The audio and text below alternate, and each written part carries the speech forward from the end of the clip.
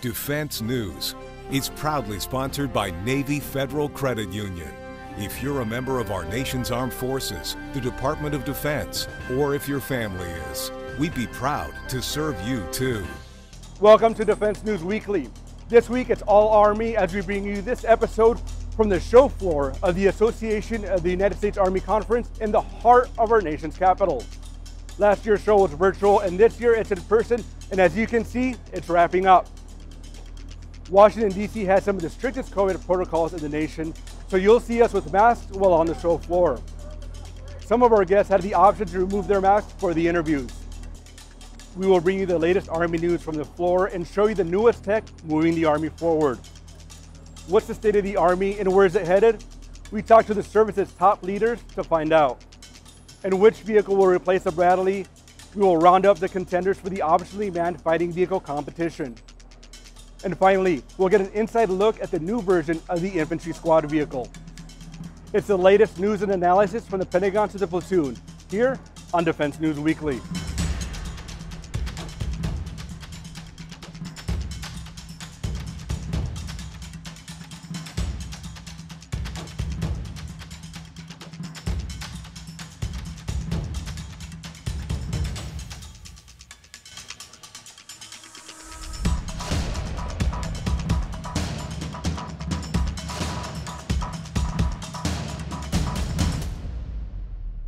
Welcome back to Defense News Weekly.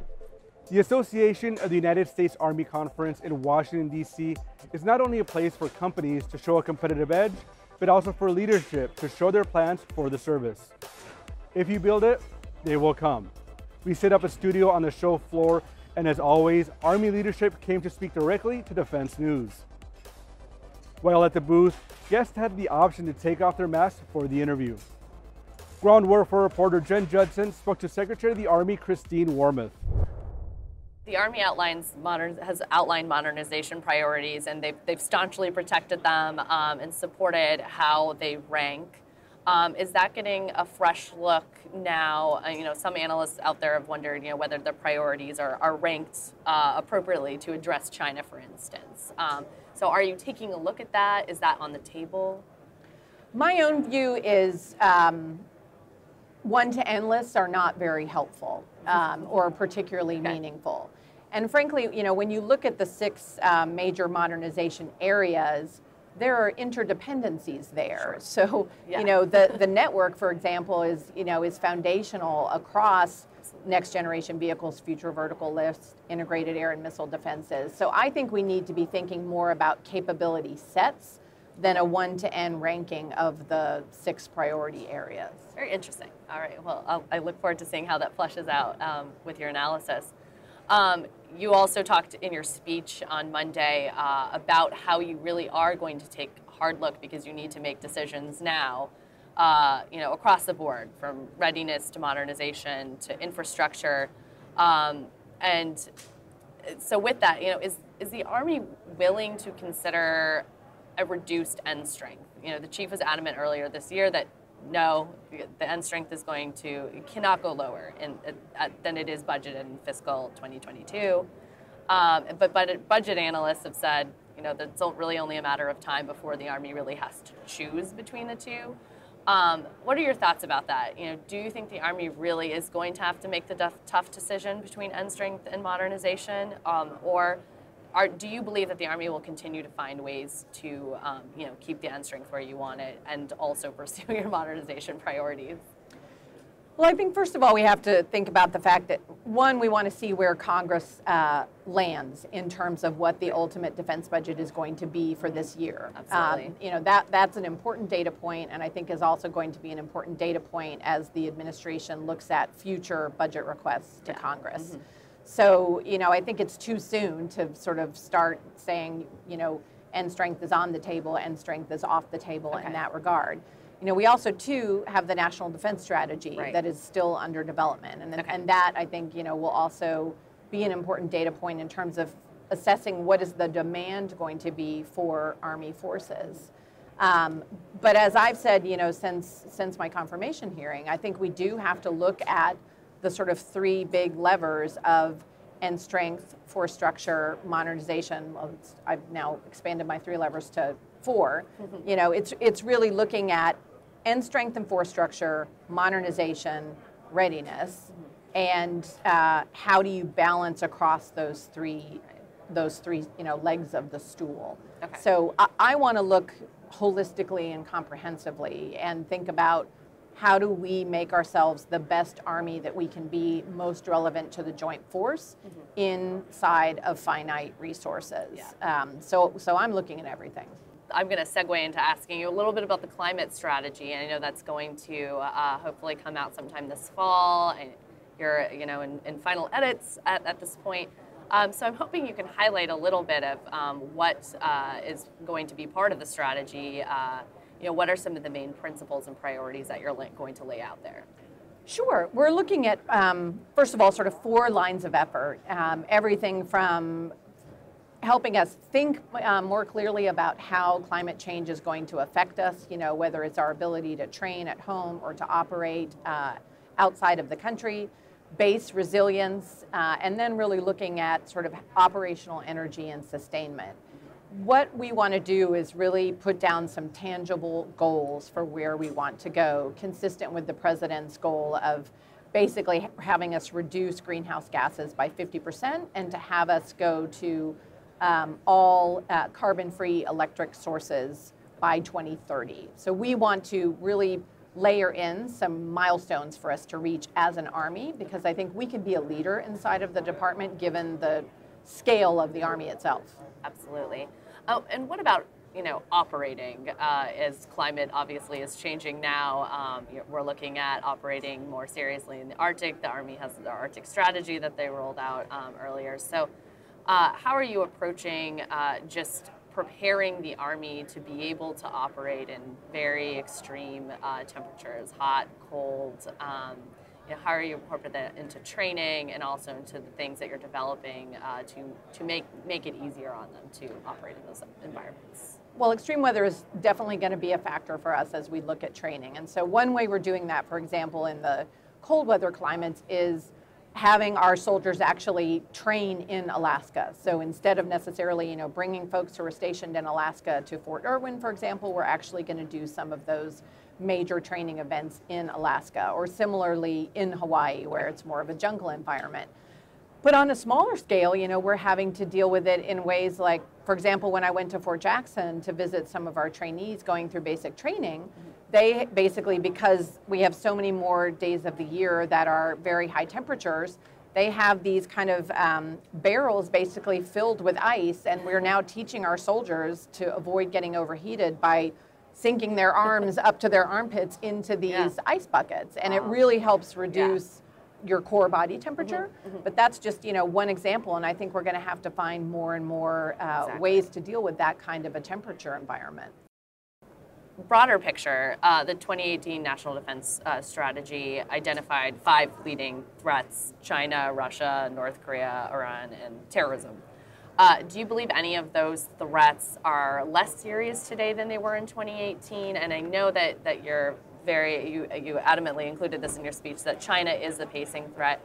But how are you approaching some of these, you know, the other threats that we've identified in recent years? Those other, tre- other threats are absolutely out there, and we're going to have to deal with them. I think what has changed, if you will, is, uh, um, is more the realization, I think, of the profound nature of the China challenge. Yes. Okay. It's not so much that the other challenges, Russia, Iran, North Korea, terrorist groups, have diminished. Um, it's more of a, a, relative weighting of importance. But we're still going to be focused on deterring Russia, dealing with North Korea, dealing with Iran. That's not going away. Right.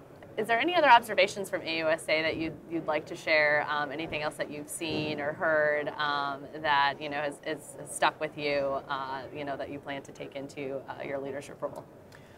Well, I mean, I think first of all, it was just great to have everyone back here in person, uh, even if we are are wearing masks still. Hopefully, by next year, that will will have moved beyond that.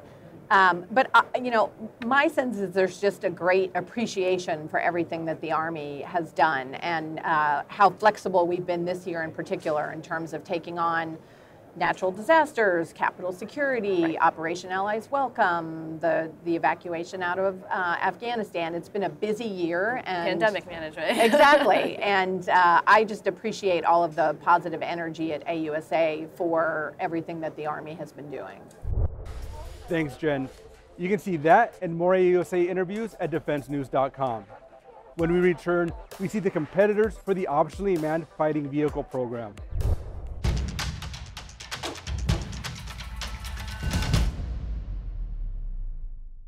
The military and defense market is constantly evolving. Stay on top of the latest news with Sightline Media Group's live events. Continue to learn, understand new tools and technologies. We're live. You're on in three. Defense, government, and industry leaders come together for successful and proven engaging events. You'll gain valuable insight, get the chance to ask questions, all from the comfort of your own home or office. Sign up for our events newsletters and receive alerts for upcoming live streams.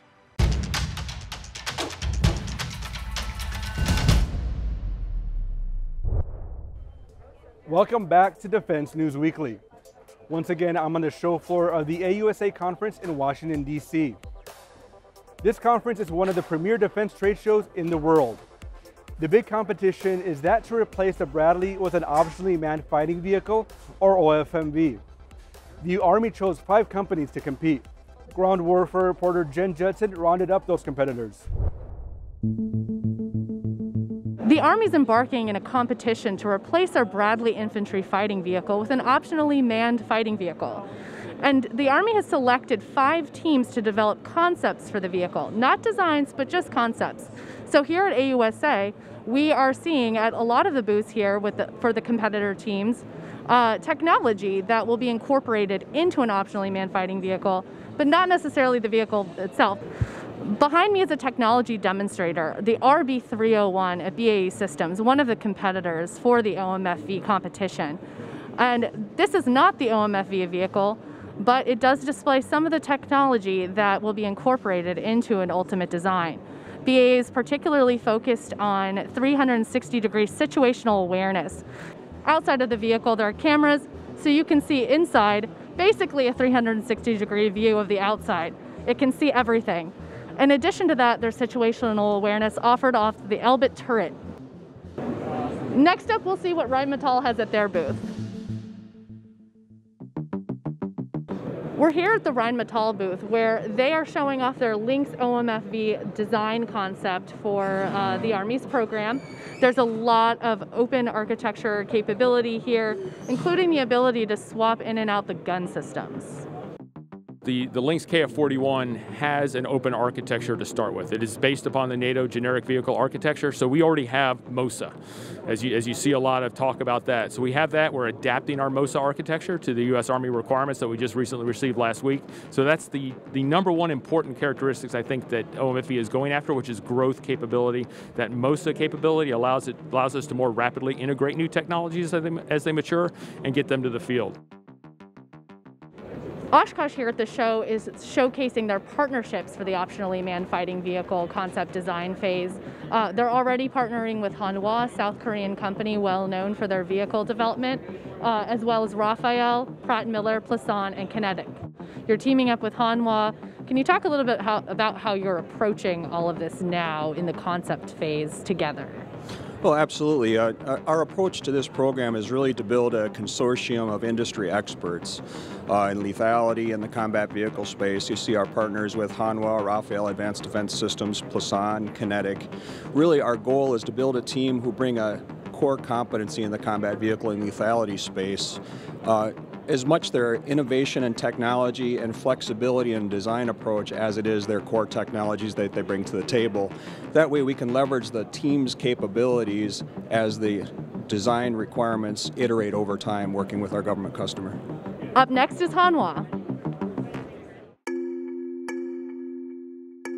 The Oshkosh Hanwha team is basing their design, a point of departure, uh, from the Redback vehicle. They're using the chassis uh, as inspiration for the design uh, that they're in right now in the concept phase.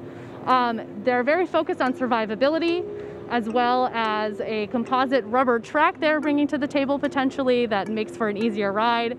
And they also have a very unique suspension system uh, that they will also likely incorporate uh, if they continue on into the next design phase. I've had a relatively good night's sleep. I've changed my clothes. We're back here at day three at AUSA, and I'm at the General Dynamics Land Systems booth, uh, standing right in front of their Catalyst Technology demonstrator vehicle. General Dynamics Land Systems is unveiling at AUSA a fifth generation electronic architecture. The open architecture system is dubbed Catalyst and is considered the heart of the optionally manned fighting vehicle technology design for General Dynamics Land Systems. As part of General Dynamics Land Systems technology development, they're also working on robotic vehicles. Uh, they brought T-Rex to the show, uh, which showcases some of their other partnerships that will be uh, a part of OMFV concept design.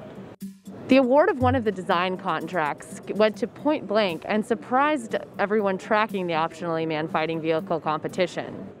Point Blank is a non-traditional company with no experience building combat vehicles, but they do have experience in the security world building vehicles uh, from the ground up there.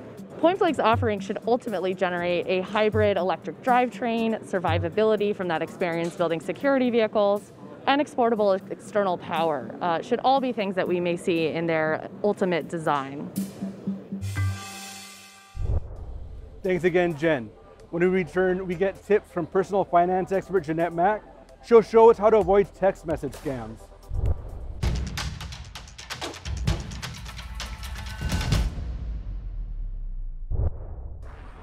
On this edition of Money Minute, Navy Federal Credit Union personal finance expert Jeanette Mack gives us tips on avoiding text message scams.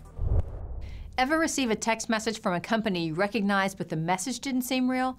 That's called a phishing text. Cybercriminals use text messaging as a way to trick you into sharing your personal and financial information so they can steal your identity. In fact, the Federal Trade Commission reported that $86 million was lost in 2020 from fraud originating in scam texts. To protect yourself, be wary of messages asking for things like your social security number or bank account number. Avoid clicking on any links in the text message and never respond to a suspicious message. Instead, call the phone number that you know to be real, the one on the company's website or from the back of your credit card to validate whether the message was actually sent by them. If it wasn't, block the phone number. Your wireless carrier can help you if you don't know how.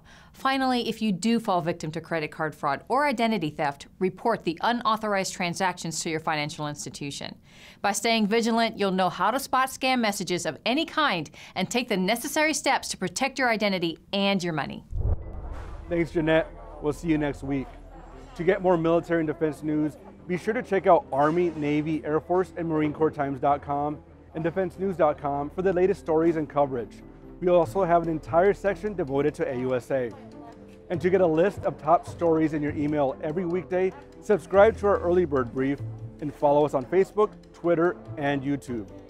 And when we come back, we get an inside look at the new version of the Infantry Squad vehicle.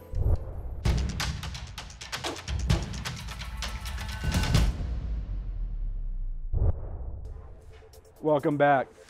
General Motors Defense announced that it has turned its infantry squad vehicle into a heavy gun carrier. The vehicle is based on GM's 2020 Chevrolet Colorado ZR2 midsize truck. The version on display has a 50 caliber gun on top and M240s on the side. Jen Judson has more.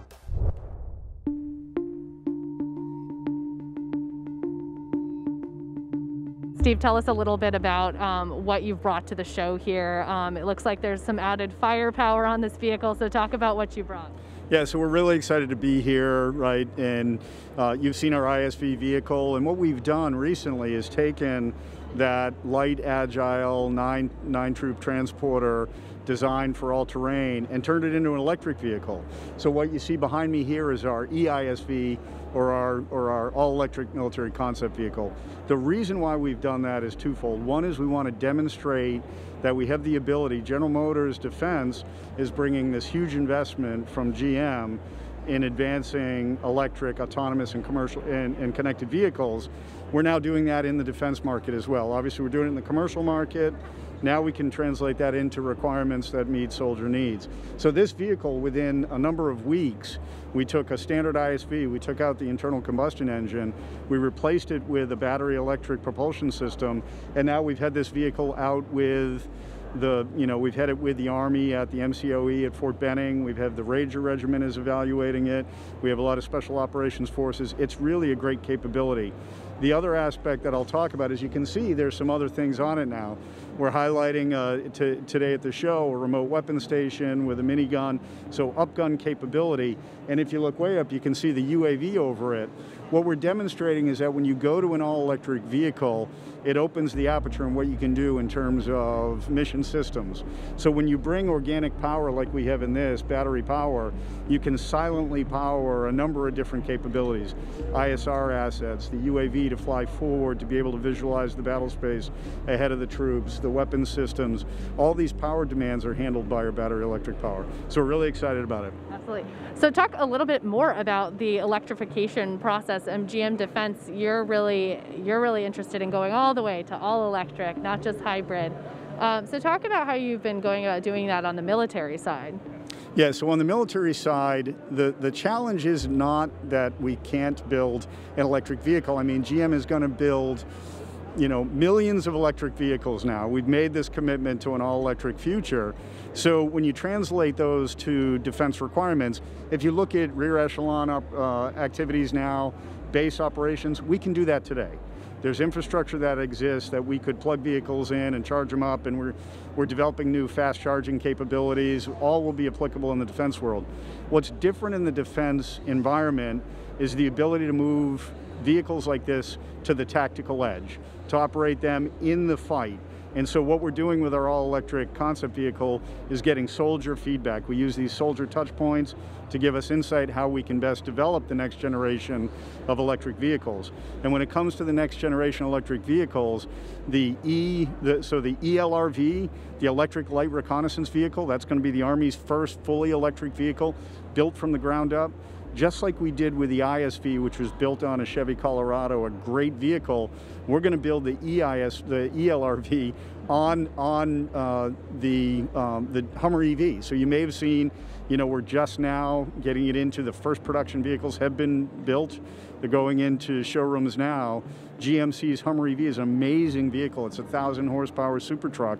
We have that now to build the you know the the Army's first all electric vehicle on. And we'll be doing that, working very closely with the Army as we prepare for the RFP to, to offer the uh, ELRV based on the Hummer EV. All right, and that's all the time we have for this week. Please visit us on militarytimes.com and defensenews.com for more coverage. Thanks for joining us, and we'll see you next week.